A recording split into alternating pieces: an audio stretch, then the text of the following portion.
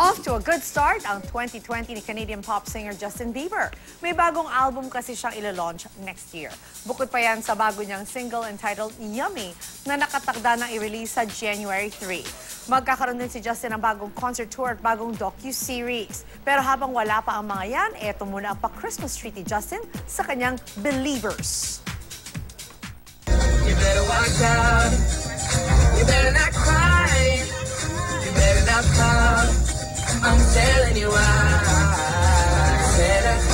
coming.